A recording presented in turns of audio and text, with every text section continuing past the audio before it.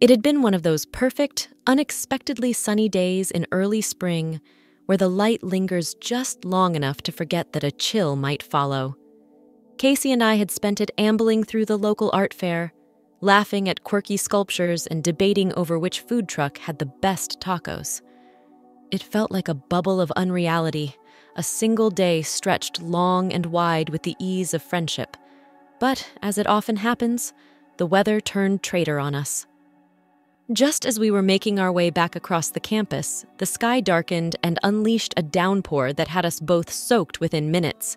We sprinted the last few blocks to Casey's apartment, our laughter ringing out as loudly as the rain. Look at us like two drowned rats, huh?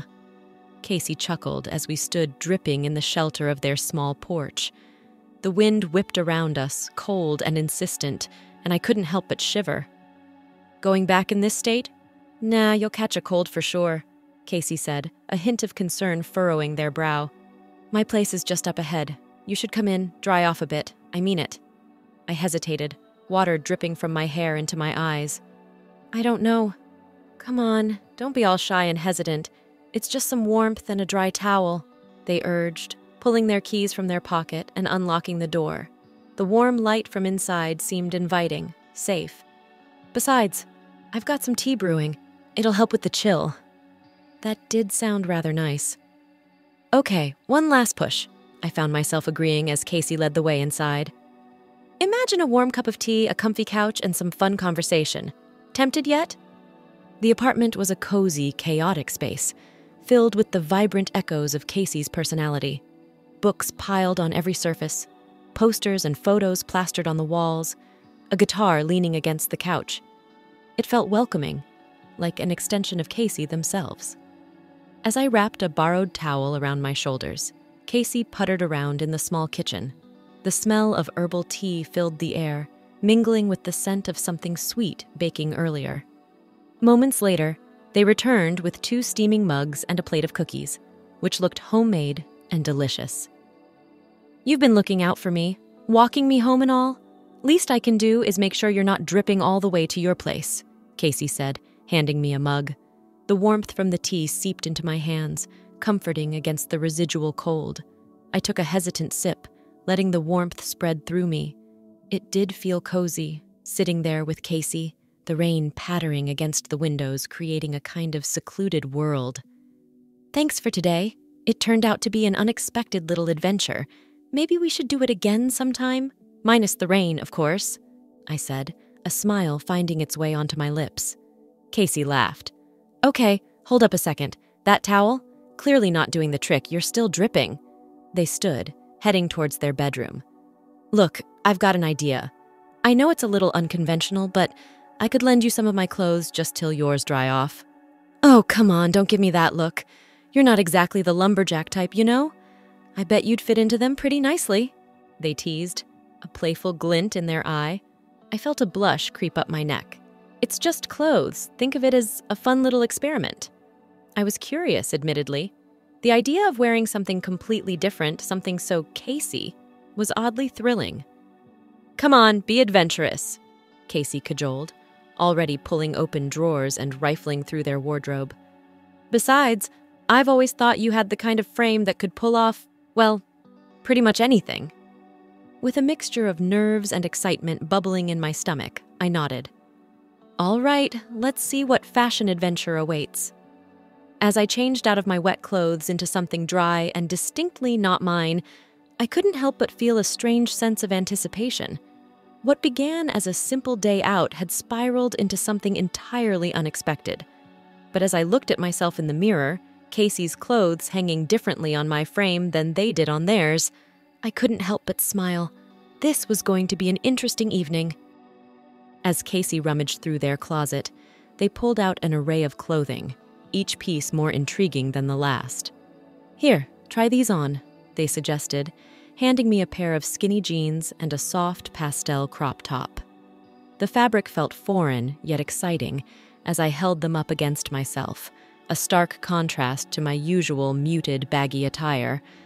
Initially, I hesitated at the mirror, the jeans fitting snugly, defining lines and curves I usually didn't emphasize. The crop top left little to the imagination, clinging softly to my midriff. I felt exposed, vulnerable, yet there was an undeniable thrill in seeing myself this way, a version of me I'd never considered before. Casey, noticing my hesitation, chuckled lightly. You look great, really, they reassured, their voice a mix of amusement and encouragement. But we're not done yet. Let's really embrace this look. The playful tone in Casey's voice eased my initial discomfort. They approached with a makeup bag, their hands skilled and confident. Trust me? They asked, a mischievous twinkle in their eye. I nodded, curiosity getting the better of my apprehension. As Casey worked, they explained each step, from the light foundation that made my skin seem flawlessly smooth to the subtle eyeshadow that enhanced my eyes, making them appear larger, more expressive. I watched in the mirror, fascinated as my features transformed under their expert touch. When they finished with a swipe of mascara and a gloss that made my lips shine, I barely recognized the person staring back at me. Now for the final touch, Casey said, producing a wig from a box on a high shelf. It was long and wavy, a rich chestnut color that shimmered under the light. As they fitted it onto my head, adjusting it to sit just right, a new image solidified in the mirror. The person looking back was still me, but not a version I had ever imagined could exist. The transformation wasn't just physical. As I saw myself in the clothes, makeup, and wig, my initial self consciousness melted away, replaced by a playful confidence. I twirled in front of the mirror, the clothes hugging my body in new, unfamiliar ways. Casey clapped and laughed, their delight infectious. See? What did I tell you? You'd rock this look. Casey grinned, stepping back to admire their handiwork. I couldn't help but laugh, too, the sound bubbling up from a place of genuine amusement and joy. This is crazy, Casey. I would never have thought. That's the fun of it, isn't it? Casey interrupted, their voice softening. Sometimes seeing ourselves in a different light helps us discover parts of our identity we never knew existed. It's all fluid, Jamie. Just roles we try on, see how they fit, and decide what feels right. Their words struck a chord within me, stirring thoughts about the roles I had confined myself to without question. Was I only adhering to what was expected of me? The evening had started as a simple escape from the rain, but now it was delving into something much deeper explorations of self and the fluidity of identity. We spent the rest of the evening playing with different poses and expressions, each snapshot capturing another facet of this newly unveiled persona. Casey's apartment, once just a place to dry off and warm up, had transformed into a stage for self discovery, and I felt a profound gratitude for the unexpected journey. As the laughter died down and we settled onto the couch with another round of tea, the weight of the transformation lingered in the air between us. I was still me, but tonight had shown me that I could also be more that the boundaries of who I thought I was could be pushed and played with, and that perhaps identity wasn't as fixed as I had once believed. Sitting cross legged on Casey's couch, wrapped in the warmth of an oversized sweater that smelled faintly of lavender and something uniquely Casey, I felt an unexpected sense of liberation. The fabric against my skin, the gentle weight of the wig, even the slight stickiness of the lip gloss. All of it made me feel strangely free it was as if stepping into this new persona peeled back layers of myself that I had neatly folded and tucked away without really understanding why. Casey sat beside me, their eyes kind and curious, sipping slowly from their mug. The room was filled with the soft glow of evening. The storm had passed, leaving a quiet calm in its wake. You know, Jamie, it's interesting how clothes and a bit of makeup can make us see ourselves so differently, Casey mused, breaking the comfortable silence. I nodded, my mind still processing the reflections in the mirror from earlier. It's weird, but I feel good, Casey. Not just comfortable, liberated in a way, like I'm stepping out from behind a curtain I didn't even know was there. Casey smiled, their expression understanding. It's all about expression, isn't it? We're taught to fit into these neat little boxes based on what society expects. But it's all just fluid, isn't it? Gender, identity. It's more complex and beautiful than we give it credit for. Their words opened a door to a room of thoughts I had never really allowed myself to explore, We delved into deep conversation about how society shapes our views of ourselves and each other, how the roles we play can be both comforting and constrictive. We talked about the masks we wear and how sometimes it takes wearing a different mask to understand the one we've always had on. As the night deepened, so did our conversation.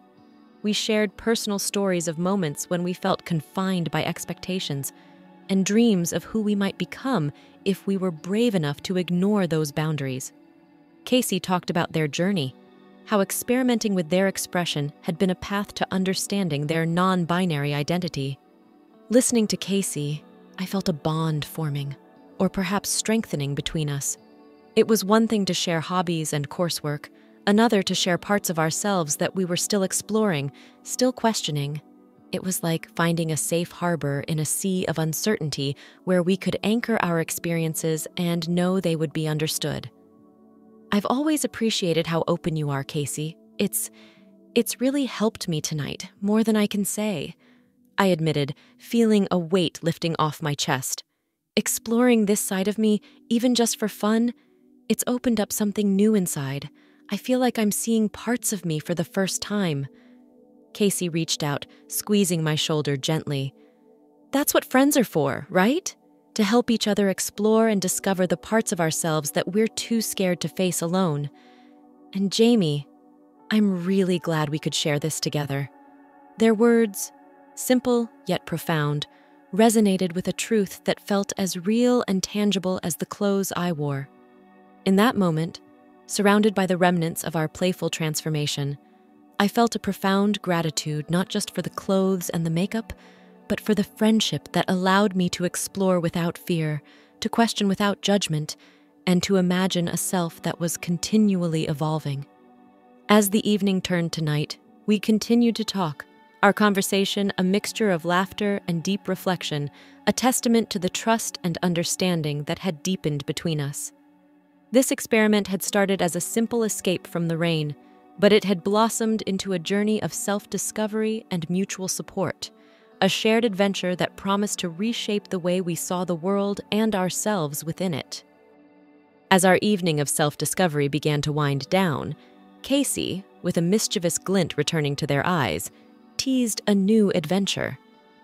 Imagine us going out like this, hitting the malls, trying on the craziest outfits we can find, they chuckled, pulling up their phone to show me pictures of eccentric, vibrant fashion styles that seemed both daunting and thrilling.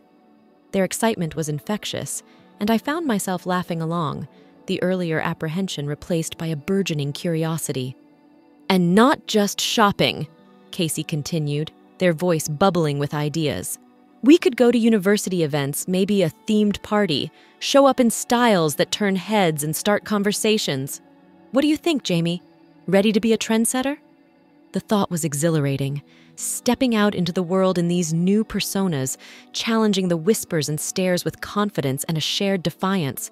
The idea of breaking boundaries not just within, but out there, in the real world, felt like a daring challenge, one that seemed a little less daunting with Casey by my side. As we started to tidy up the array of makeup products and clothing, our conversation drifted to plans for future escapades. We should make a list of all the things we've been too scared to try, all the places we felt we didn't fit in, I suggested, excitement rising with each new idea.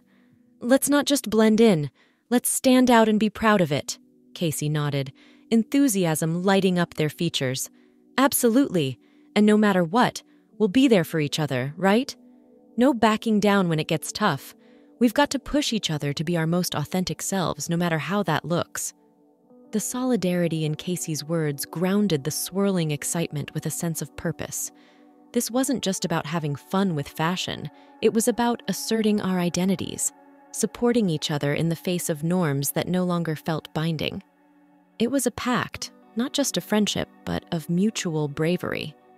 We'll be like pioneers, I said, half joking, but feeling the weight of the truth in it explorers of our own identities, charting courses through unmarked territories. Exactly, Casey agreed, their voice strong and sure. And who knows, maybe we'll inspire someone else out there who's watching, wondering if they can do the same. maybe we'll be the courage they need to see.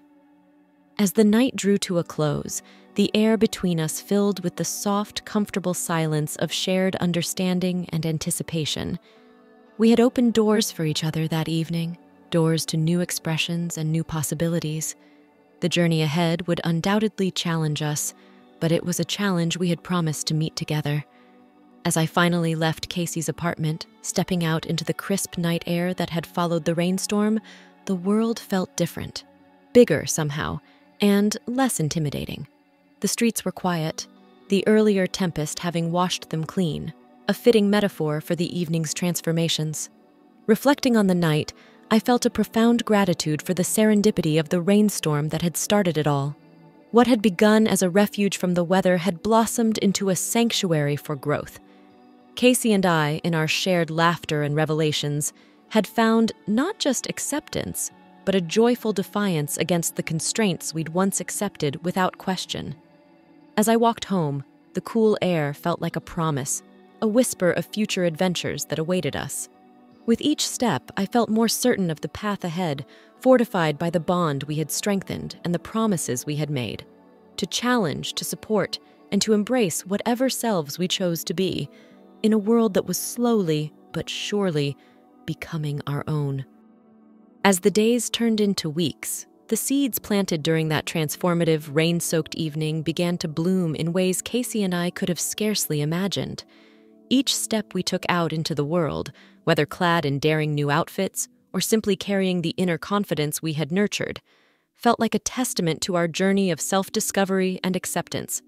We began to document our adventures, snapping photos and sharing stories of our escapades from the exhilarating rush of walking into a party dressed in styles that defied expectations, to the quiet moments spent in cafes, discussing books and art that mirrored our own evolving narratives, each instance was a stitch in the vibrant tapestry of our friendship.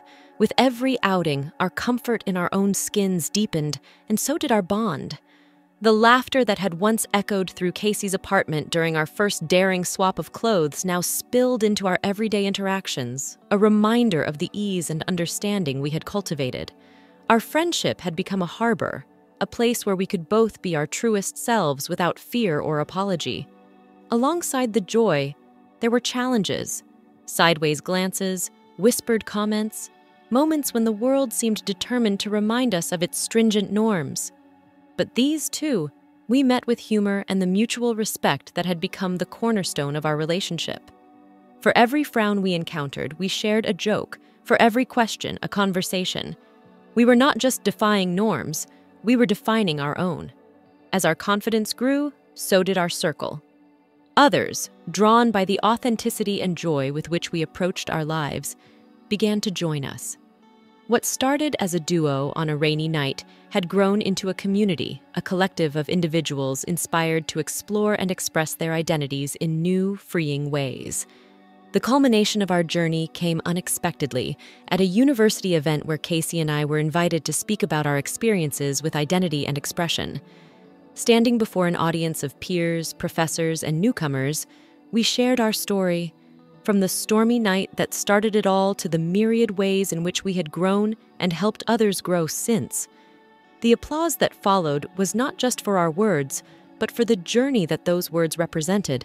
It was a validation of every uncertain step we had taken, every boundary we had pushed, and every norm we had challenged. It was a celebration of the freedom to express oneself and the transformative power of friendship. As we stepped off the stage, Casey squeezed my hand a wordless reminder of the pact we had made to support each other through every challenge and cheer for each other with every victory. We did it, Jamie, Casey whispered, a gleam of pride and joy in their eyes. We did, I agreed, feeling a surge of gratitude for the friend beside me, the path behind us, and the uncharted paths ahead. Our story, which had begun with a simple act of kindness and a shared sense of adventure, had blossomed into a narrative of empowerment, a reminder that the most profound journeys often begin with the smallest steps. And as we walked back through the crowd, our hands linked, the cheers of our newfound community echoing around us, I realized that this conclusion was not an end but a gateway, It was an invitation to continue exploring, to keep pushing boundaries, and to forever cherish the joy of sharing life's adventures with a trusted friend. In a world that often demanded conformity, we had found liberation in the joy of defiance and the strength of togetherness. This was not just our conclusion, it was our ongoing commitment to live freely and authentically no matter what lay ahead.